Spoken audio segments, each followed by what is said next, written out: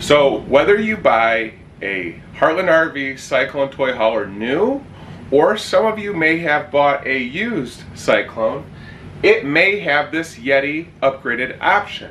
So I want to talk about what this switch is and what it does.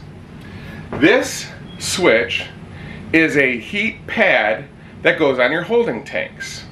Now, to activate it, you would just turn the switch on and then the Yeti package switch would be glowing red. We point out explicitly in our manuals that it is important that your holding tanks have water in them. You never want to run the heating pad on the holding tanks when they are empty because they can cause damage. So do not turn the Yeti switch on when the holding tanks are empty. Ever. Sorry for being aggressive, but I got excited.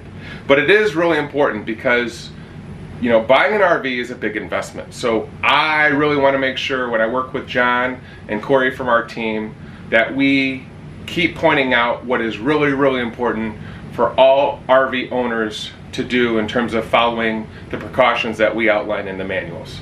Um, one other thing, does it matter uh, the time of day? No, time of day is not going to impact when you use uh, the Yeti switch. Again, what's really the only thing that you got to make sure is that those holding tanks are not empty. All right, everybody, so I'm under the third axle. This is the black water tank. Thank God there's no leaks here.